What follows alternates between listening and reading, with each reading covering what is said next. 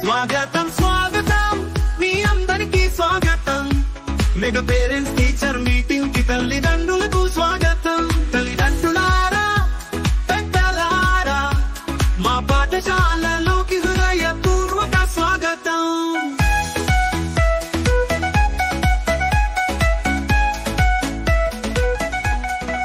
మా పాఠశాల గౌరవం. మీ ప్రేమతోనే మాకు కీర్తి సంపదలు సాధ్యం. తల్లిదండ్రుల సలహాలే వెలుగులు గురువుల మార్గం మా భవిష్యత్తుకి పునాదులు. పిల్లల జీవితాల ఆకర్షణ మీరు వారి విజయానికి ప్రేరణ మీరు. మీ ఆశీస్సులతో మార్గం చూపాలి.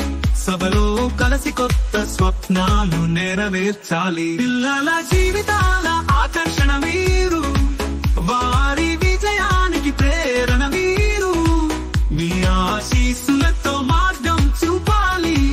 సభలో కలిసి కొత్త స్వప్నాలు నెరవేర్చాలి.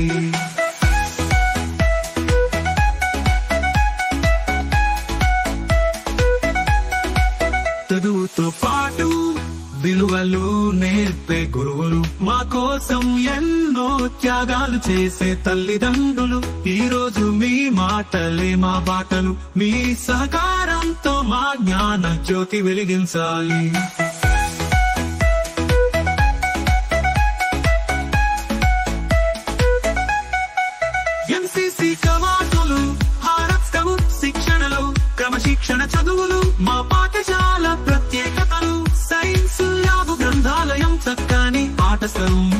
నిజంగా జంతువుల తోటల సోయగాలు మా పాఠశాల ప్రత్యేక ఆకర్షణలు.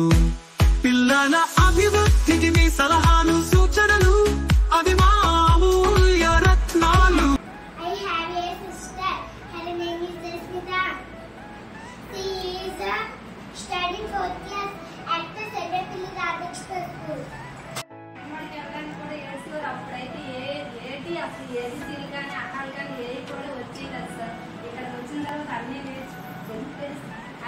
నేర్చుకుని బాగానే చదువుతున్నాడు కాకపోతే ఒక క్లాస్ రావడానికి ఇబ్బంది పడుతున్నాడు. నేను కానీ మా అత్తయ్య గారు కానీ దేవడుతున్నామండి అప్పుడు నేను చాలా కష్టం సార్ బాగానే నేర్చుకుంటున్నాడు ఇంకా మీద మీద కూడా బాగా నేర్చుకోవాలని ఆశపడుతున్నాను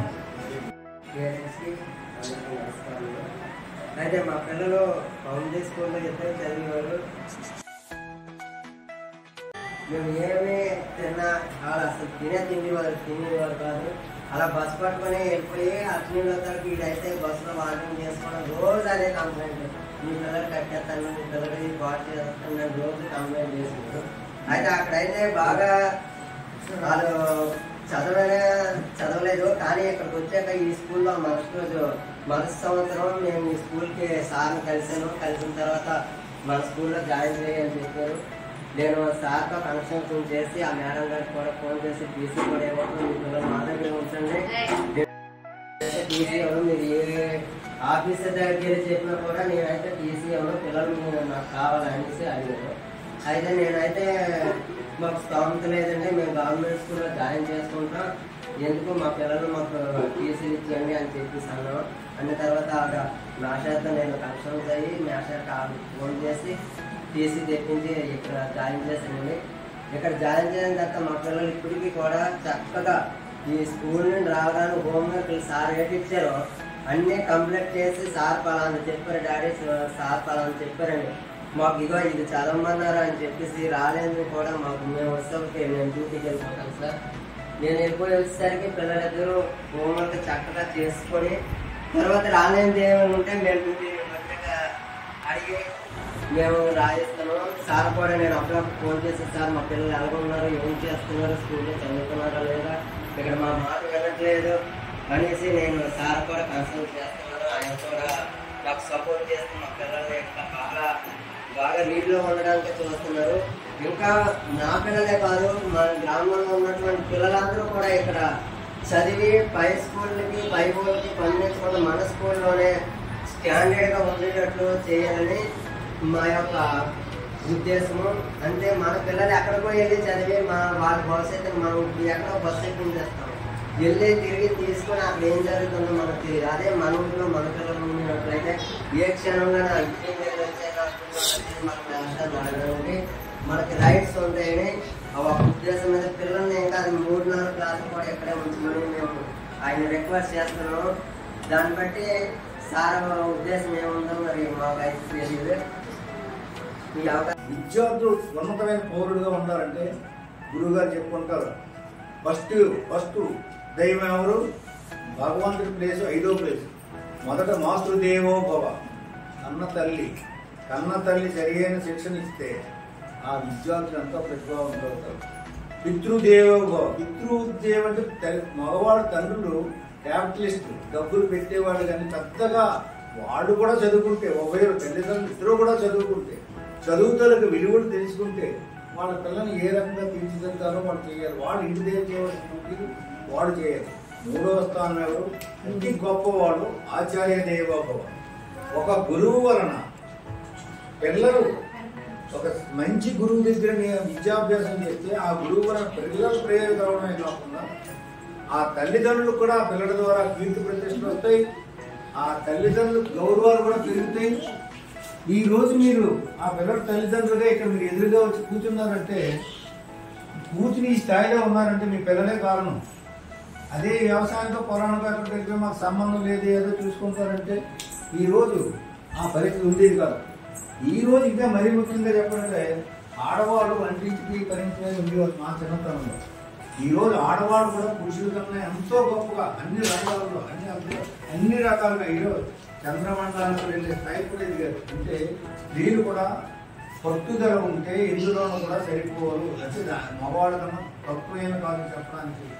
చాలా చాలా కాలానుగుణం మార్పులు వచ్చాయి తర్వాత విద్యా వ్యవస్థ కూడా కొంత మారింది మర్నాడు పాటు కొంత బ్రేక్ వచ్చింది. ఎలాగంటే మళ్ళీ ఈ మధ్య కాలంలో కొన్ని మార్పులు వచ్చి జనరల్ నుంచి మారింది. చదువు పోవడం.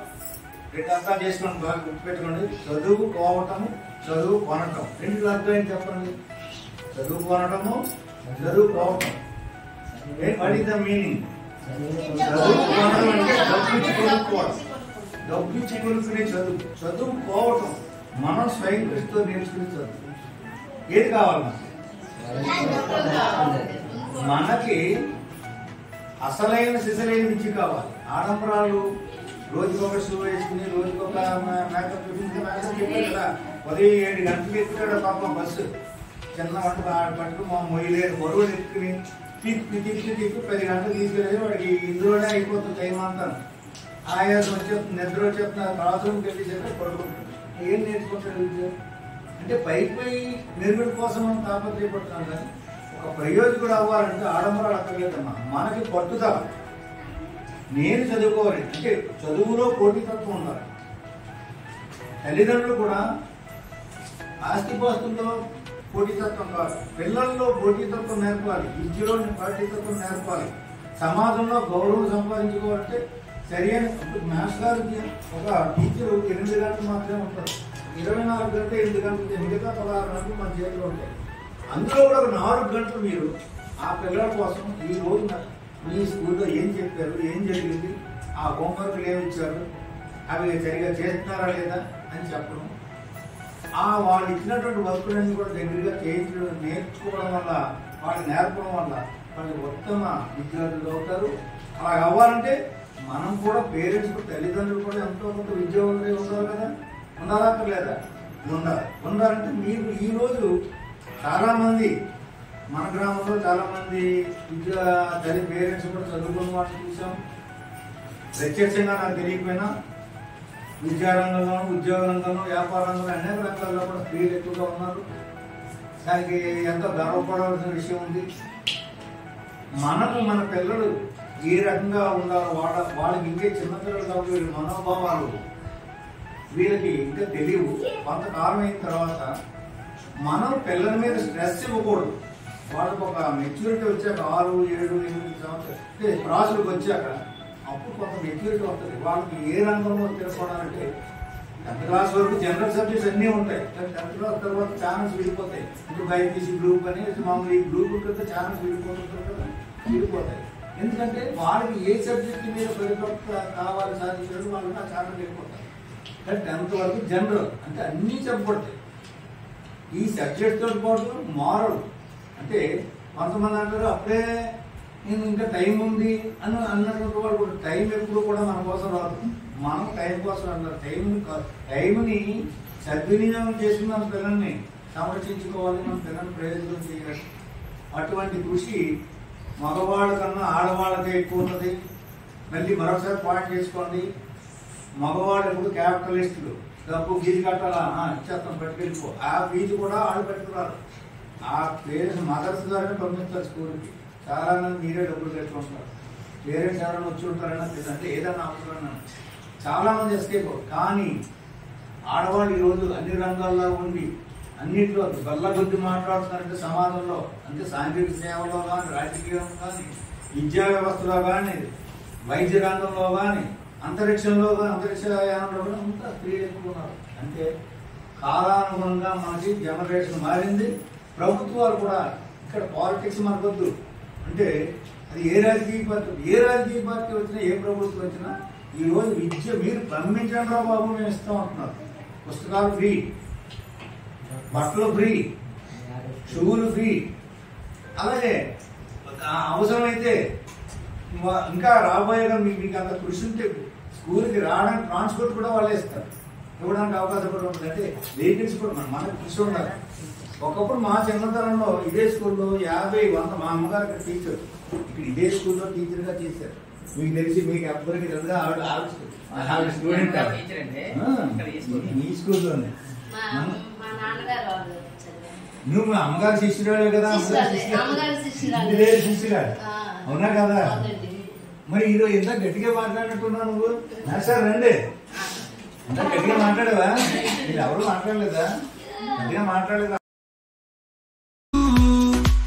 ఈ డిసెంబర్ ఏడున మీరాక మాకు ఎంతో ఆనందదాయకం.